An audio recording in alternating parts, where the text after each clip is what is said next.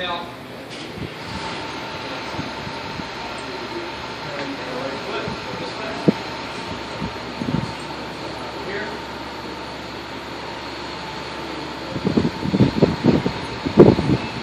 when we step down, you the side here. This hand just went like this. From here to there. Now there's a certain amount of minimalism here. It's a very small move. Okay, so you get from here to the top. And we step out from heel. Inhale.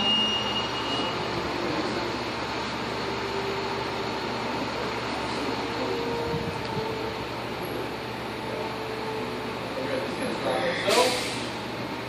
Now to get it back up, we're going to shift our weight from the back, from the front, we're going to turn our foot and turn our waist.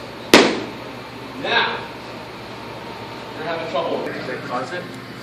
So what does blow out mean? Means it's Let's supposed try to be again. stacked in a row, right? One shot out. Here. There, the Oh, next okay. Out. another. Inhale, away from me, huh? exhale. Fingers all numb. This is wrong. All wrong. That's okay.